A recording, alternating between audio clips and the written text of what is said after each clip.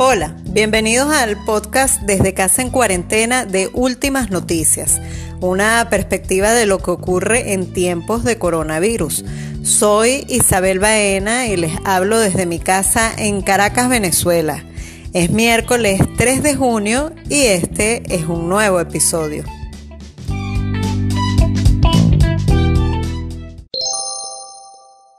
Conversaremos con el historiador Mike Aguiar sobre las epidemias en Venezuela. Les compartiremos recomendaciones de cuentos infantiles y de libros para leer en este confinamiento. Además les traemos lo nuevo de la agrupación Jarabe de Palo. Quédense con nosotros. En un momento como este que vivimos con la pandemia por el COVID-19, el confinamiento, la amenaza permanente de contagios y la repercusión que esto tiene en todos los ámbitos de nuestra vida, nos preguntamos cómo la humanidad sobrevive ante hechos así, cómo supera situaciones como estas.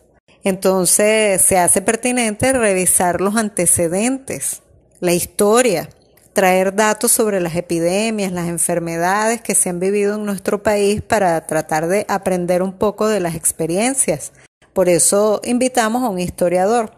Él es especialista en salud y enfermedades. Es investigador, docente, tiene un amplio currículum e investigaciones.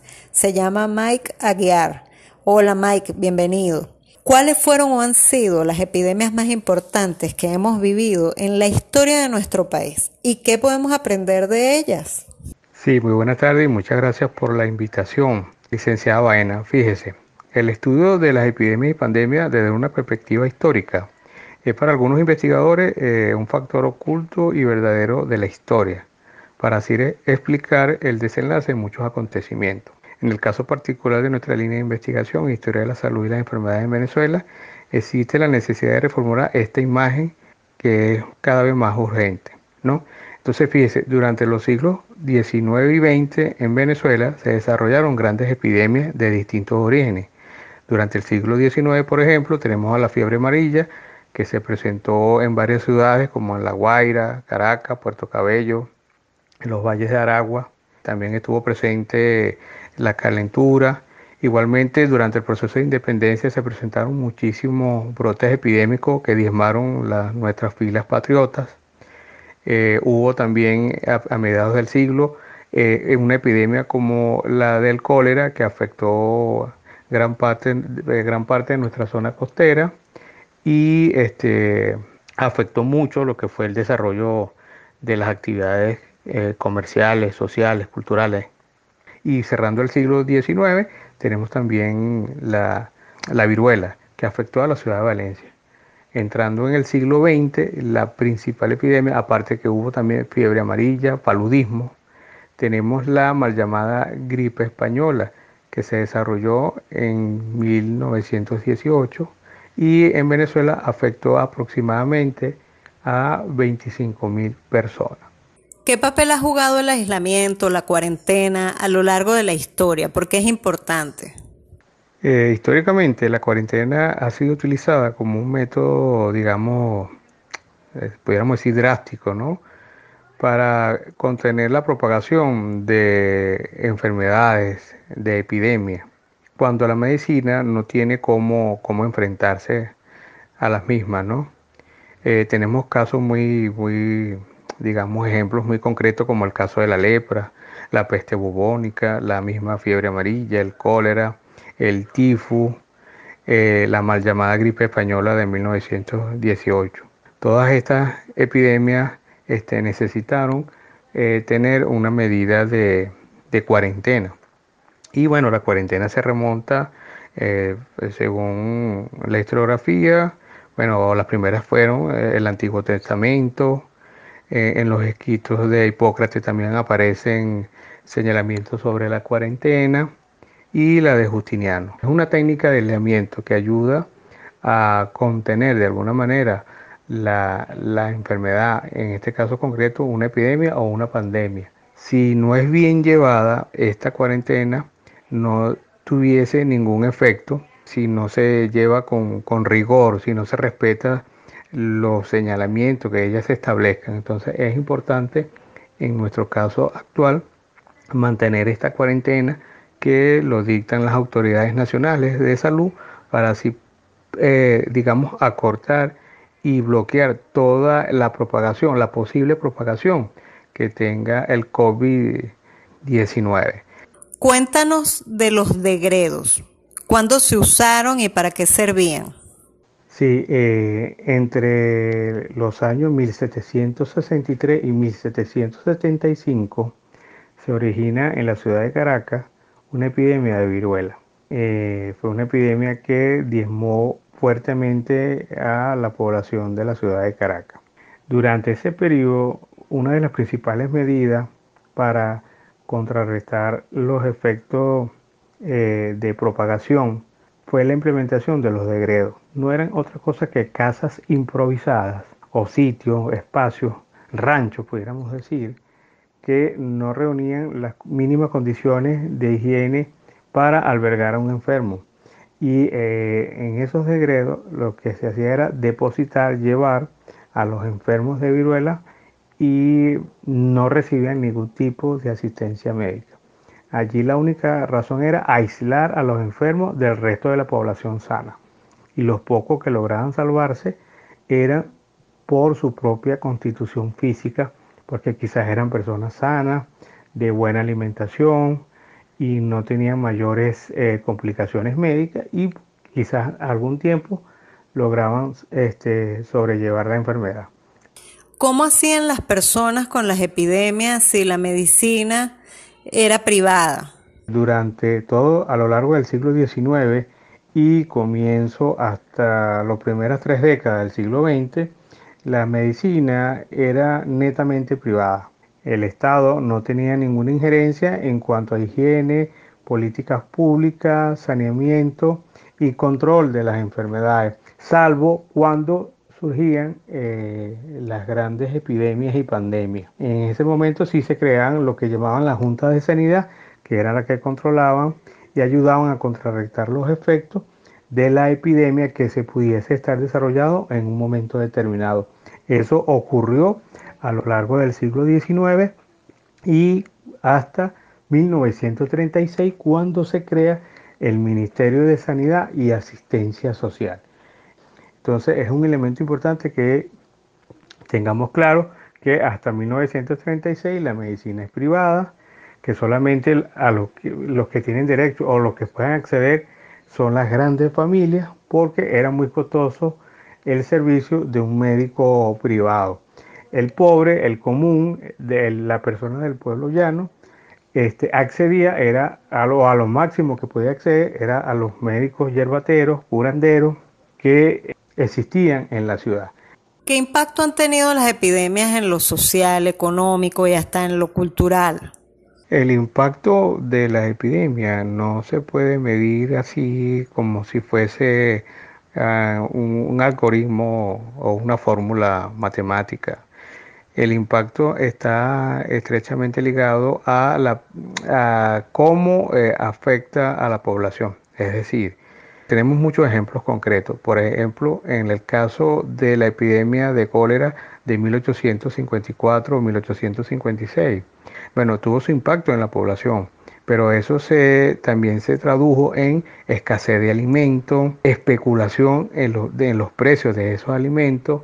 El gobierno nacional tuvo que tomar medidas de importación para la exoneración de impuestos y afectó también en la mano de obra de los campesinos que trabajaban en el campo, la tierra, es decir, tuvo un impacto negativo Igualmente se prohíbe o se prohibía eh, la congregación de personas como una medida de cortar los efectos de la epidemia. Entonces, eh, eh, son muchísimos los impactos o el impacto que pueda tener una epidemia dentro de la sociedad. Este, y en muchos casos, y sobre todo en siglos pasados, no se tenía también la certeza de los orígenes de la misma, entonces eso crea como una mayor sensación de miedo en la población. Eh, digamos, se contrarrestaba eh, con mecanismos que eran completamente erróneos a la luz de hoy, ¿no? Porque se desconocían su etiología, es decir, su origen. ¿Qué anécdotas recuerdas y nos puedes contar de los tiempos de epidemias? Podemos decir que a lo largo de la historia de la salud y las enfermedades en Venezuela, de las grandes epidemias y pandemias, podemos decir, por ejemplo, que durante la epidemia de viruela eh, entre mediados y finales del 18, este, la Iglesia Católica decía que eh, en algunas personas eso era un castigo divino, porque para muchos, eh, si tenían una vida un poco nada decorosa, nada honrada, promiscua, etcétera, ese era un castigo divino. Y por eso estaban sufriendo esos males. ¿no? Ese era un poco lo que decía la iglesia en esa época.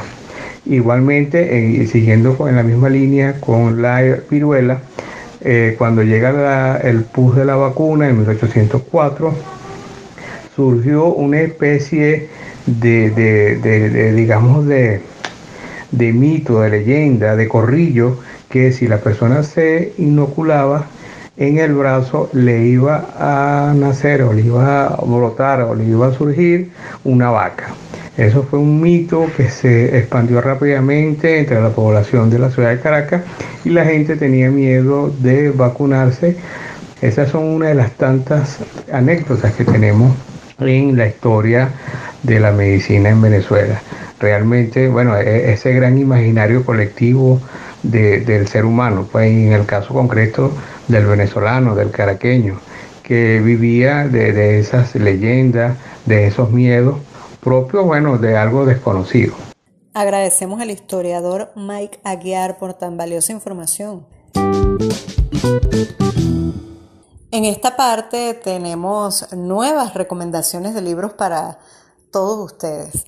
Primero de cuentos infantiles, luego de libros para todo público, jóvenes, adultos y todos quienes quieran consultar estas sugerencias. Para empezar, tenemos al colega periodista Sergio Duque, quien reside en Italia y pasa este confinamiento con su familia, con su hijo pequeño.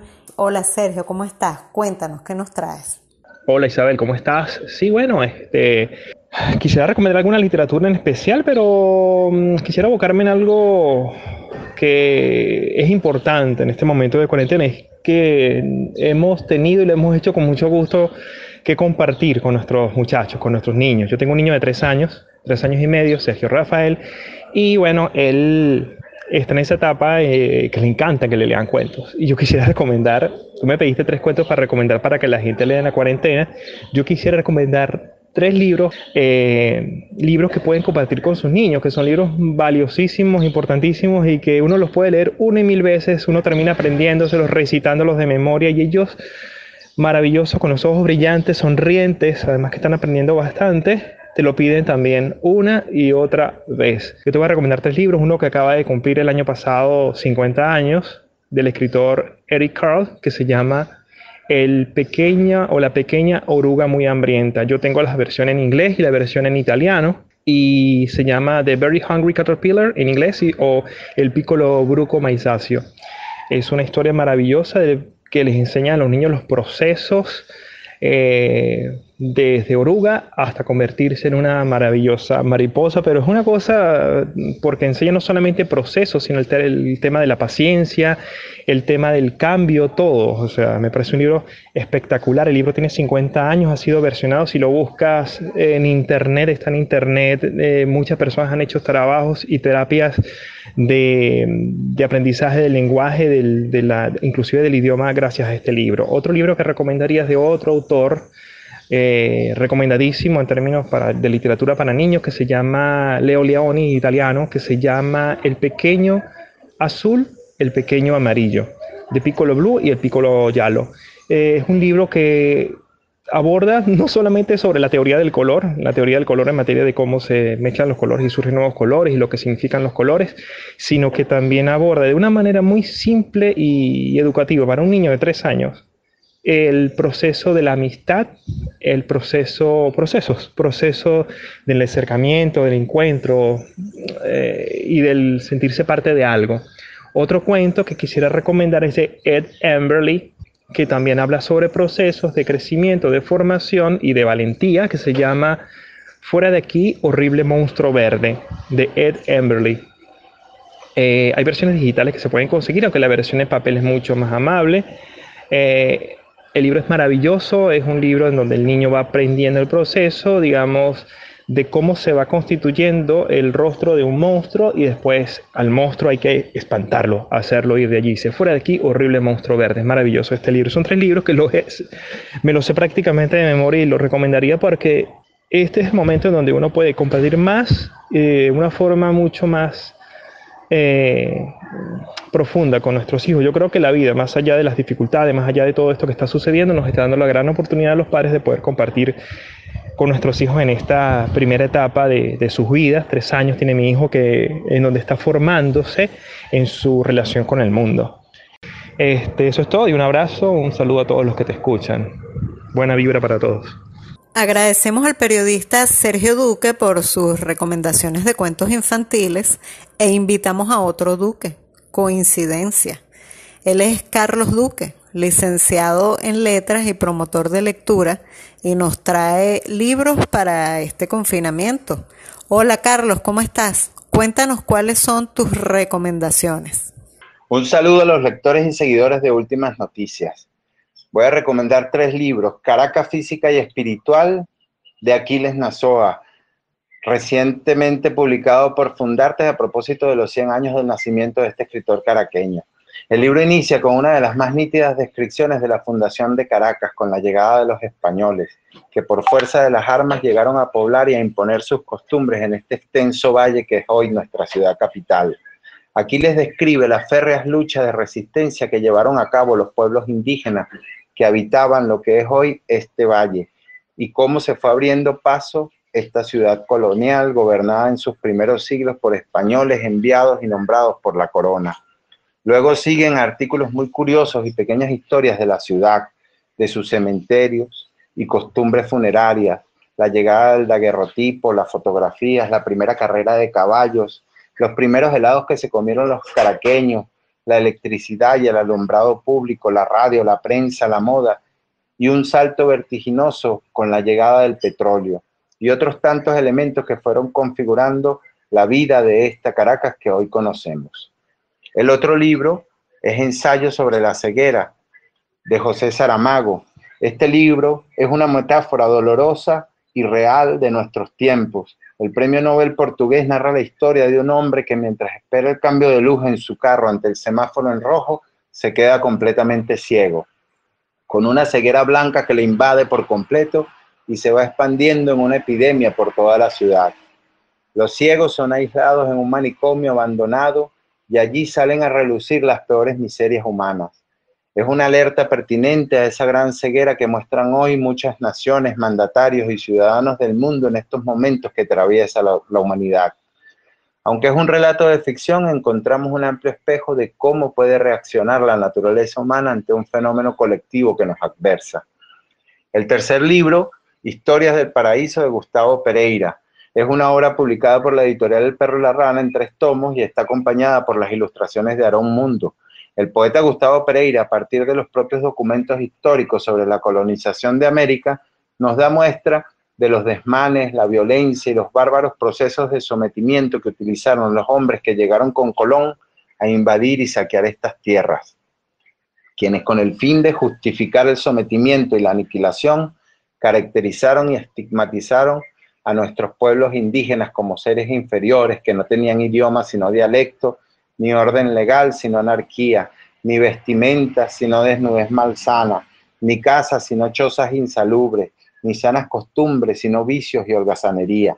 Pereira devela la otra cara de la moneda con las luchas de resistencia y de independencia de los pueblos indígenas y las diferentes formas que tuvieron que sortear los hombres, mujeres y niños africanos que fueron arrancados y separados por un inmenso océano de sus tierras para ser esclavizados en este continente.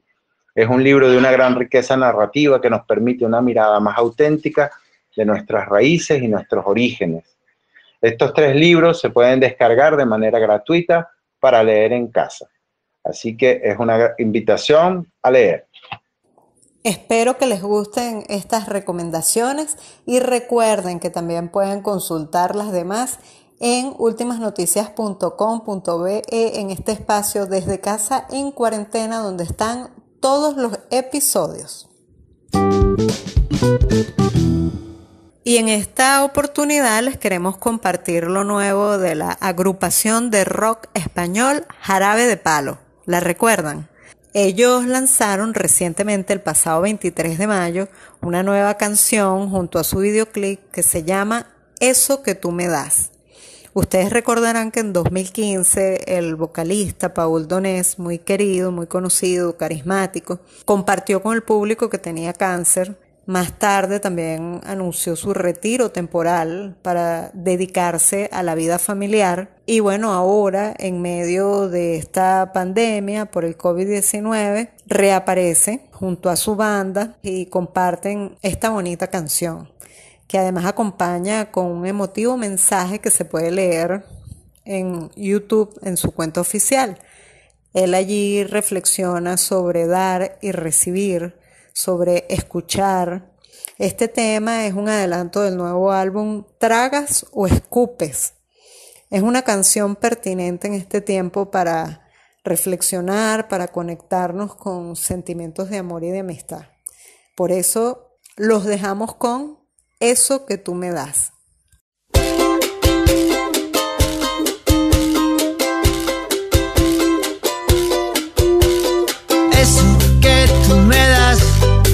Mucho más de lo que pido. Todo lo que me das es lo que ahora necesito. Eso que tú me das, no creo lo tenga merecido. Por todo lo que me das, te estaré siempre agradecido. Así que gracias por estar por tu amistad y tu compañía. Eres lo, lo mejor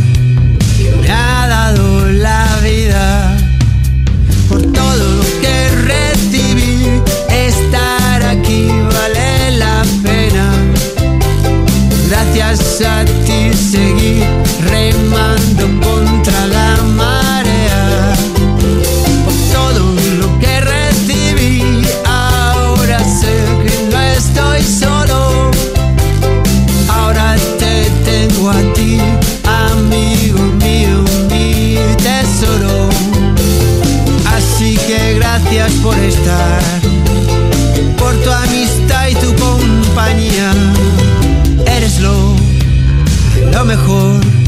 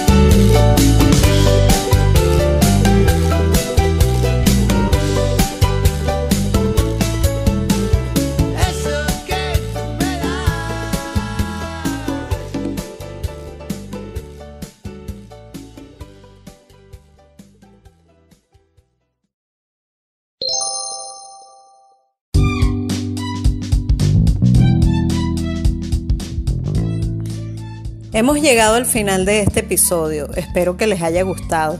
Me despido de ustedes desde Casa en Cuarentena, un podcast de últimas noticias.